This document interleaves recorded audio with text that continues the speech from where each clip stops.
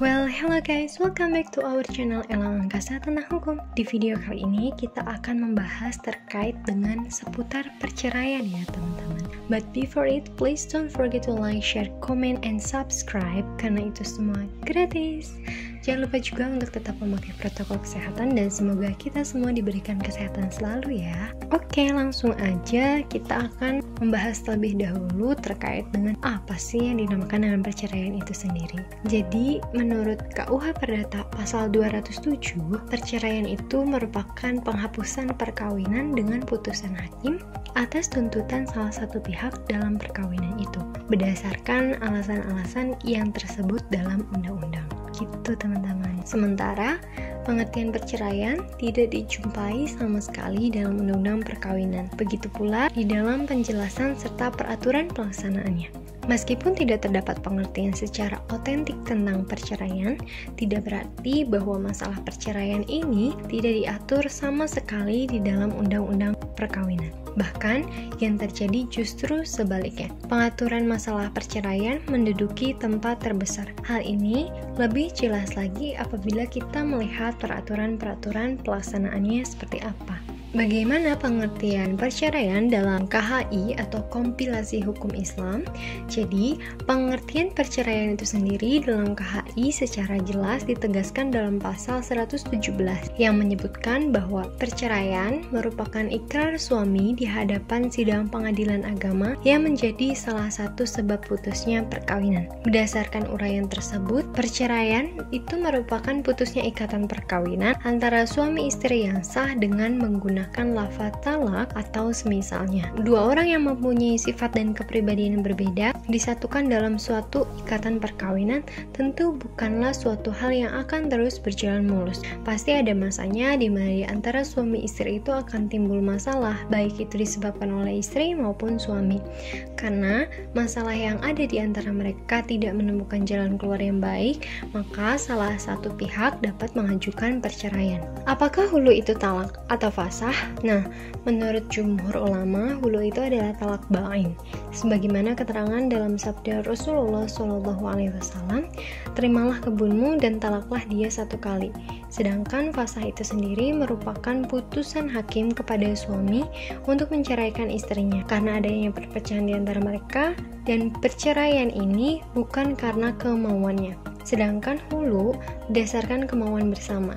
Jadi hulu itu bukan fasah ya. Ini menurut Ahmashi Dawud dari kalangan ahli fikih. Adapun Ibnu Qayyim itu berkata bahwa hulu itu bukan talak karena Allah menyebut talak sesudah kawin yang tidak memenuhi tiga macam hukum. Dalam semua keterangan tentang tiga hukum tersebut, masalah hulu yaitu yang pertama, suami lebih berhak rujuk kepada istrinya semasa idahnya, yang kedua terbatasnya hanya tiga, dan sesudah tiga kali ini tidak halal kecuali setelah istri kawin dengan laki-laki lain dan setelah terjadi hubungan suami istri yang sesungguhnya. Yang ketiga, masa idah adalah tiga kali kuru atau suci. Kemudian, apakah perempuan yang dihulu itu sama dengan ditalak?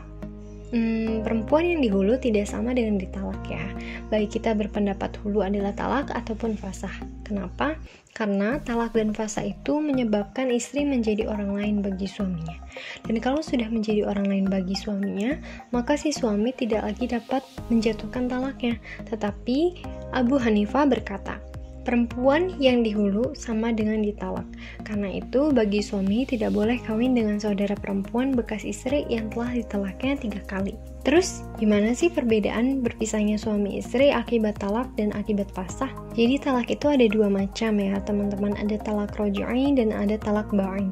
Talak roji'i ini tidak mengakhiri ikatan suami istri seketika itu juga, dan talak ba'in mengakhiri seketika itu juga. Kalau fasah, baik karena adanya hal-hal yang terjadi setelah akad ataupun adanya syarat-syarat yang tidak terpenuhi, dapat mengakhiri ikatan perkawinan seketika itu juga. Yang kedua, berpisahnya suami istri karena talak dapat mengurangi bilangan talak.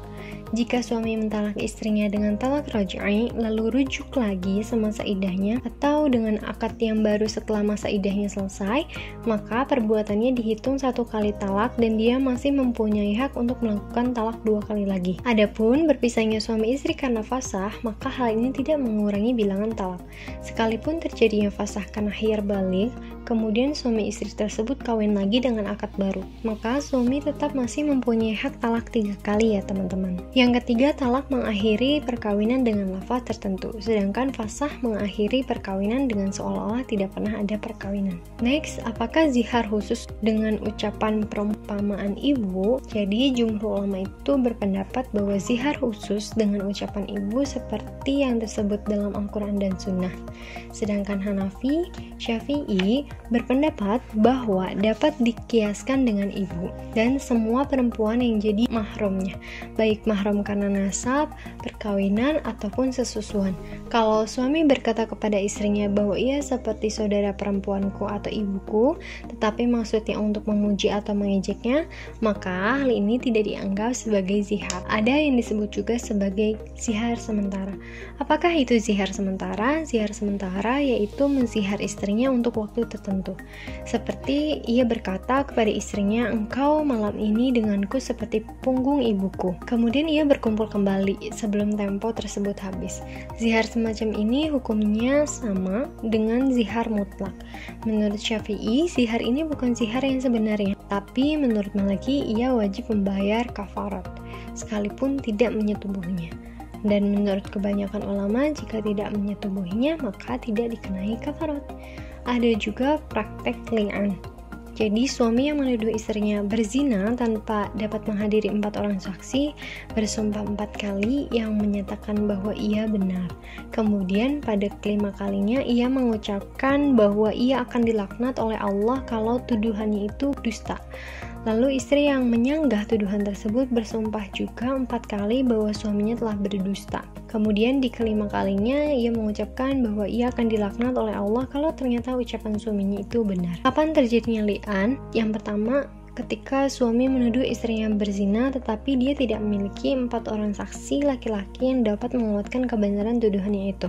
Hal ini dapat dibenarkan jika ada ketentuan musyahadah atau penyaksian dari suaminya seperti misalnya Suami melihat laki-laki tersebut sedang menzinai istrinya atau istri mengakui perbuatan zina dan suami yakin akan kebenaran pengakuannya tersebut.